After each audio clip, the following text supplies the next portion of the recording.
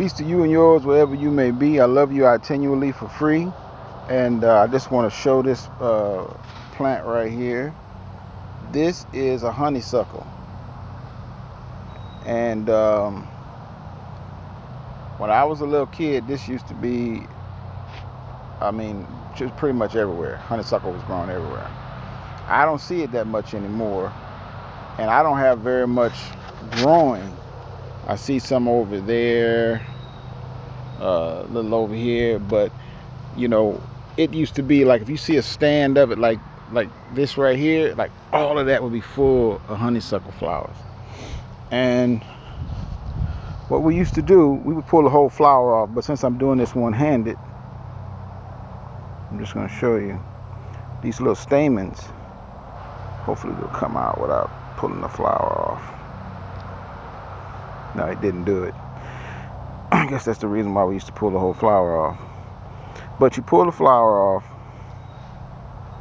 and then those stamens that I pulled out of there, you you gently get them to come out. And I'm sorry, I can't do it one-handed.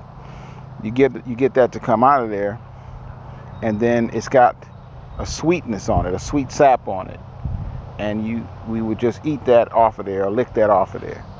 So that's honeysuckle. Some of y'all might know about that. Probably a lot of y'all don't. But really what I really wanted to show, I just got through cutting cutting my field. What I really want to show is uh, these elderberries. Now this has to do with the common elderberry that's found here I don't know all the different types of elderberry. You look at the top up there, you'll see flowers. That's the elderberry flower. And you can make tea out of that and you know, uh, that's kind of a late blooming situation going on right there. But this is the extra ripe elderberries. And you generally don't see this many in one place. Now I was on the tractor, it looked fuller than this, fuller and and and, uh, and blacker than this. But here is the tricky part about elderberry. Now you see, some of them are green, some of them are red, and some of them are black. Okay. Oh, and that is the dreaded leaf-legged bug. I hate them. I hate them. Very hard to control that naturally.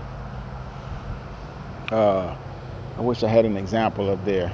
I'll make another video later to show you what their egg sacs look like. It looks like a little line of dots. You know, when you see that, squish it. Anywhere, get rid of it.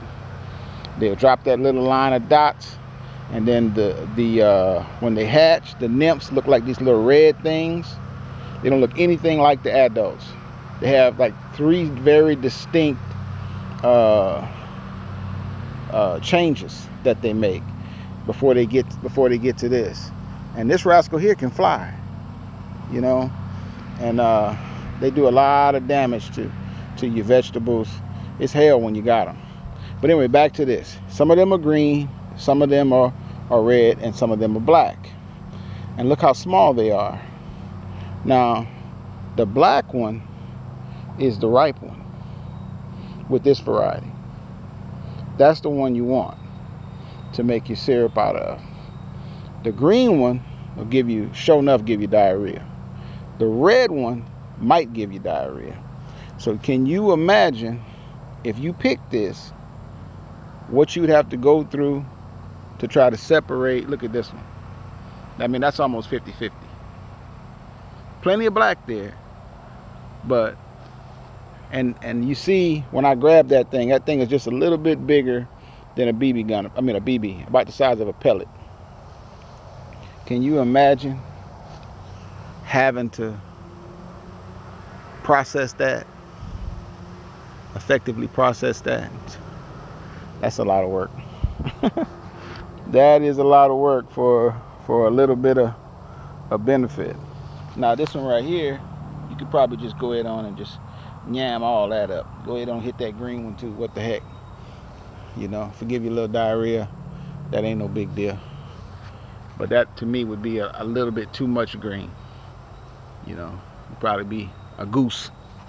Anyway, this is what I meant when I was talking in the other video about the birds will hit you. The birds get them as they are turning, you know, right. And it's hard. Everything that you see on here is probably picked, uh, that's missing is probably picked by birds. And, and uh, you know, they built for it. You know, they little. The bird itself is little, so it doesn't need that much. And uh, it's got that little bitty pointy beak.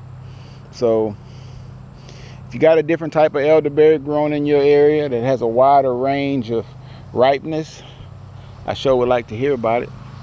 Uh, see it, see a little video on it. Anyway, love you for free. I you, wherever you may be.